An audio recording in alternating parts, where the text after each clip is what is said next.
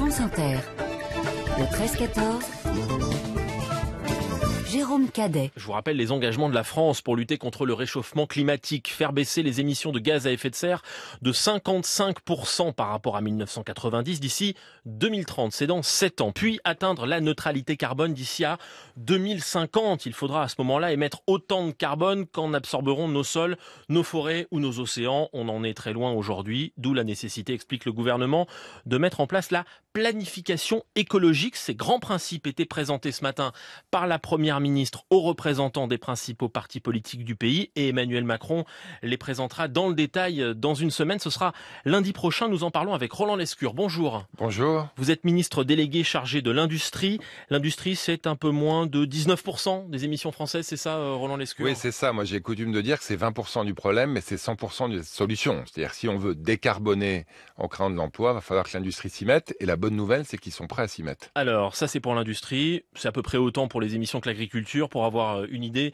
C'est 30% pour les émissions concernant le, transport. Voilà pour quelques ordres de grandeur. J'attends euh, pour vous, Roland Lescure, les questions des auditeurs de France Inter 01 45 24 7000 ou via l'application France Inter. D'abord, très simplement, qu'est-ce que c'est la planification écologique? Vous l'avez dit, on a des objectifs. En fait, ça fait 30 ans depuis le sommet de Rio en 92 que la France et d'autres pays se donnent des objectifs. La planification écologique, c'est la planification des moyens. Pourrait vous faire sourire, mais c'est presque un peu triste, pour tout simplement respecter ces objectifs. C'est-à-dire, c'est se donner les moyens dans toutes les verticales que vous avez mentionnées, l'agriculture, le transport, l'énergie, le logement et l'industrie, de dire si on veut vraiment décarboner, si on veut vraiment diviser par deux nos émissions de gaz à effet de serre d'ici 2030, voilà ce qu'il va falloir faire dans chaque secteur, et puis de manière globale, combien il faut d'électricité, combien il faut de biomasse pour répondre à ces besoins. Donc c'est à la fois extrêmement concret, c'est ambitieux et ça permet de mettre en œuvre pas seulement la planification écologique, mais la véritable révolution écologique dont on a besoin. Ce sont des mesures contraignantes et des incitations, ou pas de mesures contraignantes, uniquement des incitations? Alors, ni l'un ni l'autre. Bon, des mesures contraignantes, il y en a. Par exemple, on va, on va, sortir du moteur thermique à horizon de 2030. Vous savez qu'on va arrêter de vendre des véhicules thermiques en Europe.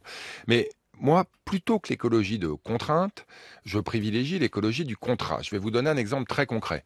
Aujourd'hui, il y a 50 sites industriels en France qui représentent 60% des émissions de l'industrie. Des cimenteries, des aciéries, des usines où on fabrique des engrais. Exactement. Vous avez presque tout avec les raffineries et, et les alumineries, vous avez tout.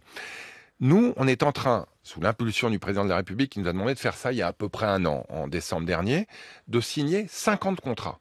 Donc des contrats très concrets dans lequel on s'engage à appuyer les industriels dans leur transition et eux s'engagent à la faire. Typiquement, je vous donne l'exemple d'une aciérie.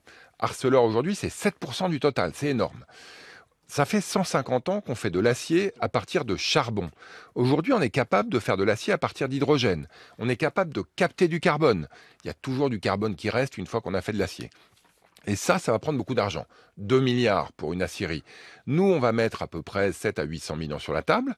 Arcelor fera tout le reste, 1 milliard d'euros, et ils vont s'engager dans la réduction effective d'ici 2030, moins 50%, d'ici 2050, on n'aimait plus. Pour décarboner ces sites industriels, Roland Lescure, il faut qu'ils fonctionnent avec de l'électricité, c'est ça la clé? Alors c'est une des clés, en fait il y a trois clés. Un, euh, le recyclage. Il faut qu'on puisse en entrer des processus, par exemple pour l'acier, recycler de l'acier. Plus vous recyclez, moins vous avez, moins vous avez pardon, à en brûler. Deux, de l'électricité bas carbone en volume et pas cher, donc du nucléaire, pour faire de l'hydrogène qui va entrer dans les processus industriels. Et trois, il y a toujours ce qu'on appelle du carbone fatal. C'est-à-dire quand vous faites du ciment, il reste toujours du carbone. Il faut pouvoir le capter, le transporter et le renvoyer là d'où il vient, Typiquement, dans les grands gisements de la mer du Nord, la Norvège aujourd'hui est en train d'organiser des parkings à carbone. Il faut qu'on renvoie le carbone là d'où il vient. On va parler de, ces captures de, carbone, mais sur l'électricité, on aura assez d'électricité. Le plan qu'a annoncé le président de la République, ce sont 6 EPR, les deux premiers en 2037. Comment on fait d'ici là? D'abord, sachant qu'il y a aussi euh, les voitures qu'il faut faire Exactement. rouler tout le reste. C'est tout l'objet de la planification euh, écologique, de s'assurer qu'on a les moyens de nos ambitions. Donc aujourd'hui, on a des EPR, on a pardon des réacteurs nucléaires qui fonctionnent mieux qu'il y a un an. Il faut encore continuer à monter la puissance de manière à retrouver ce qu'on avait il y a quelques années. C'est possible. Il faut développer l'éolien donc le solaire, le, enfin pardon, les, énergies renouvelables, donc l'éolien, le solaire, etc., la biomasse, et puis il faut faire preuve de sobriété. C'est vrai qu'il y a une partie... Mais ça veut dire des, des, panneaux photovoltaïques partout, des éoliennes partout, 50 parcs éoliens euh, en mer, il faut vraiment mettre le... Alors, sur l'éolien en mer, il faut mettre le paquet. Sur le solaire, on peut imaginer, d'ailleurs c'est prévu dans la loi, que par exemple sur les parkings des centres commerciaux, on ait des ombrières avec des panneaux photovoltaïques. On peut l'utiliser aussi dans l'agriculture. Les industriels eux-mêmes, aujourd'hui, utilisent une partie de leur terrain pour faire du renouvelable, des éoliennes notamment. En gros, ce que fait cette planification écologique, c'est de lancer la mobilisation générale. Au fond, il n'y a pas un acteur qui peut faire ça tout seul. Il faut que tout le monde fasse sa part du boulot. Nicolas nous appelle au standard de France Inter. Bonjour Nicolas. Bonjour. D'où nous appelez-vous d'ailleurs? Euh, De Brest actuellement. Très bien. Nous vous écoutons Nicolas. Oui, bah, bonjour, euh, bonjour Monsieur le Ministre. Bonjour Nicolas. En fait, voilà, j'appelais parce qu'effectivement, avec une association, on s'est, on s'est un petit peu documenté sur le, sujet carbone, notamment dans les industries, et en fait, on se rend compte que à ce stade, il n'y a pas énormément d'industries qui, il y en a, mais pas toutes, qui publient sur le site de la qui est destiné à cette publication. Euh, et en fait, euh, on se rend compte aussi qu'elles n'ont pas les mêmes modes de calcul, qu'elles n'ont pas les mêmes euh, logiciels, etc. Qu'elles ne publient pas quoi, Nicolas? Leur bilan carbone?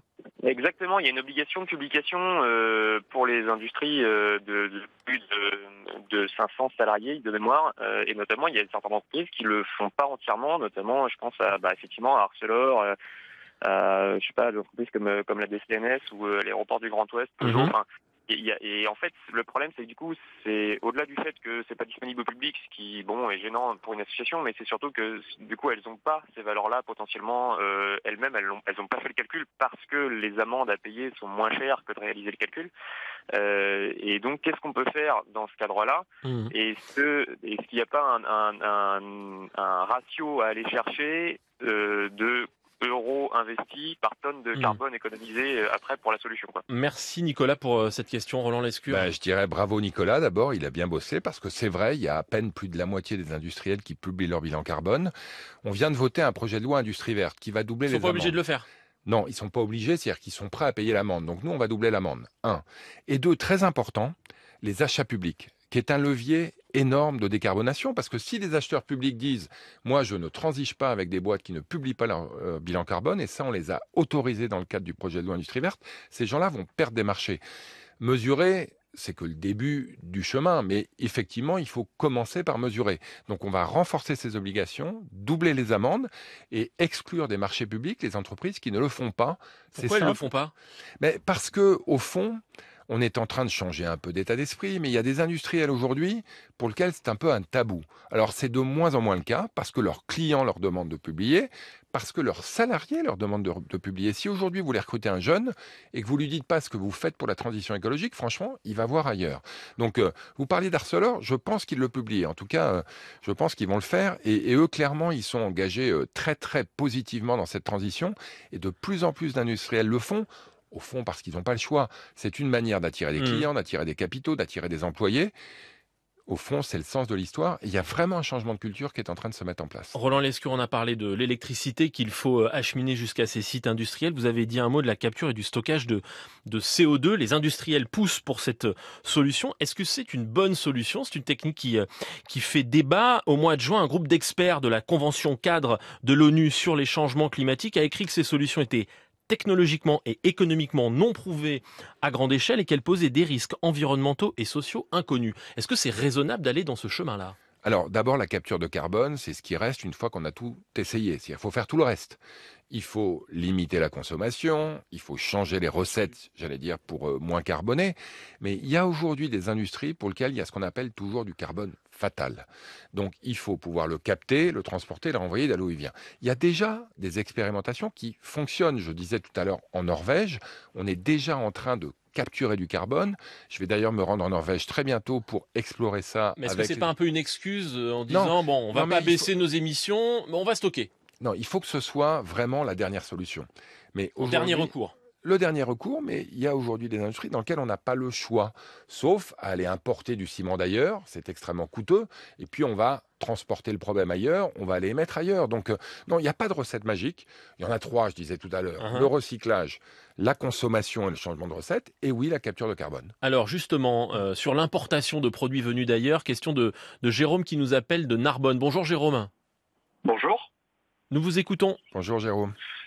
Bonjour, Monsieur le Ministre. Euh, en fait, ma question euh, euh, aujourd'hui, c'est de savoir si on était capable en France de fabriquer des panneaux solaires 100% français, sans importer des panneaux de Chine, comme c'est le cas depuis, depuis de nombreuses années. Merci pour cette question euh, précise, Roland Lescure. La réponse courte est oui, très bientôt. on a deux entreprises. Oui, donc pas maintenant. Non, on est en train de réindustrialiser la France sur toute cette technologie verte, parce que Jérôme a raison, pendant des années, on s'est dit on va faire ça ailleurs, c'est pas grave. C'est de l'emploi, c'est de la prospérité, c'est aussi une manière de garder notre destin entre nos mains. Donc à Sarreguemines, il y a une On n'a pas protégé aussi euh, nos industries qui à un moment se sont lancées dans les photovoltaïques. Je parlais tout à l'heure des acheteurs publics. Si on ne fait le prix, rien que le prix, tout le prix, et qu'on s'occupe pas des conséquences environnementales, on importe du bout du monde. Donc à Sarreguemines, il va y avoir une gigafactory de panneaux solaires construite par Holosolis. Ils sont en train d'obtenir les autorisations, ils les auront dès, la fin de l'année, début 2024, et on aura très vite des panneaux solaires fabriqués en France. C'est essentiel sur les panneaux solaires, sur les pompes, à chaleur, sur l'hydrogène, sur l'éolien. Il faut qu'on fabrique en France et en Europe. D'abord parce que c'est la seule manière de réconcilier écologie et économie. On parlait de fin du monde, fin du mois. Soit vous importez ça du bout du monde, soit vous le créez chez vous. Ça va créer de l'emploi, ça va créer de la transition écologique, le bilan environnemental est meilleur et au fond ça coûte pas beaucoup plus cher. Mais ça veut dire qu'on va taxer plus les euh, panneaux photovoltaïques qui viendront d'ailleurs pour qu'on puisse être euh, compétitif? Non, il faut qu'on ait des solutions plus innovantes qu'ailleurs, il faut que les acheteurs publics intègrent ça dans leur état d'esprit. On a ce qu'on appelle la taxe carbone aux frontières, ça s'appelle pas exactement comme ça mais ça revient à ça qui a été instauré au niveau européen qui permet de corriger un certain nombre des écarts euh, j'allais dire, euh, injuste qu'on a de compétitivité avec certaines industries. Et puis, il faut qu'on investisse, il faut qu'on investisse, il faut qu'on investisse. Et ça, on le fait grâce à France 2030. Question de Mathieu. L'industrie manque de bras en France. Elle n'attire plus. La mauvaise image du secteur liée à son impact sur l'environnement est une des raisons. Problème d'attractivité du secteur, notamment chez les jeunes. Est-ce une des ambitions des plans en cours? Oui. Il a à la fois raison et tort, votre auditeur. Il a raison quand vous demandez aux jeunes aujourd'hui ce qu'ils pensent de l'industrie, ils vous disent ça paye pas, ça pollue et c'est pénible. La réalité de l'industrie aujourd'hui, c'est que ça paye, ça paye plus que les services, ça dépollue, c'est vraiment le cœur des solutions, et en plus c'est de moins en moins pénible. Moi j'étais vendredi à World Skills, un événement absolument exceptionnel à Lyon, il y avait des dizaines de milliers de jeunes, c'est un c'est le top chef de l'industrie en gros, un hein, championnat du monde des métiers, dans lequel on avait des dizaines de milliers de jeunes qui venaient de toute la région, qu'on a rencontrés, avec lesquels on a fait, je dirais, un travail euh, assez fun d'ailleurs pour leur donner envie d'industrie. Au fond, quand vous adoptez, enfin, euh, découvrez l'industrie, c'est l'adopter. Quand vous ouvrez les portes des usines et que les jeunes voient aujourd'hui ce que c'est vraiment, ça leur donne plutôt envie. Mais il faut le faire. Il faut ouvrir les portes des usines françaises à tout le monde et notamment aux jeunes hommes et aux jeunes femmes. Mais on, se rend compte aujourd'hui que euh, je crois que c'est la moitié des jeunes qui sont lancés dans ces filières ensuite ne vont pas dans des métiers qui correspondent. Donc ils, connaissent le, métier, mais au final ils n'occupent pas les postes. Oui, mais ça, ça me dérange pas trop que qu'un certain nombre de jeunes qui étudient l'ingénierie aillent faire du conseil ou de la finance. J'allais dire tant pis pour eux. Ce qu'il faut surtout, c'est former plus de jeunes. On doit doubler le nombre d'écoles d'ingénieurs, on doit doubler le nombre d'écoles de production, qui sont des écoles qui forment des métalliers, des soudeurs. On a vraiment, on a besoin d'un million trois cent mille personnes dans les dix ans qui viennent dans l'industrie. Et donc pour ça, former, former, former, et sans doute aussi faire appel à l'immigration pour ce qui restera. On a une question via franceinter.fr. Je reviens à une discussion qu'on a eue, euh, Roland Lescure, il y a quelques minutes. Merci de nous dire comment on calcule son bilan carbone. Alors, c'est très simple même si euh, c'est technique. Euh, vous mesurez à la fois ce qu'on appelle en rang 1, ce que votre processus de production émet, donc combien vous consommez de charbon, de gaz, combien vous en émettez. Ensuite, il y a ce qu'on appelle le rang 2 qui est un peu plus compliqué, c'est combien vos fournisseurs émettent. Parce que si vous faites rentrer mhm. de l'acier pour faire votre voiture et que cet acier lui-même est carboné, ça doit rentrer. Puis il y a même le rang 3 qui est ce qui rentre dans l'acier que vous allez rentrer dans votre voiture. Et donc tout ça, c'est extrêmement normé, ça se mesure. Et, euh, et, et au fond, aujourd'hui, on a beaucoup progressé sur la mesure. Ce qui manque, c'est de l'action et des résultats. Et ça, c'est exactement ce qu'on fait dans la planification écologique, on passe à l'action, si je puis dire. Merci Roland Lescure, ministre délégué à l'industrie, d'avoir accepté Merci à vous. l'invitation de ce 13-14. 13h45 sur Inter.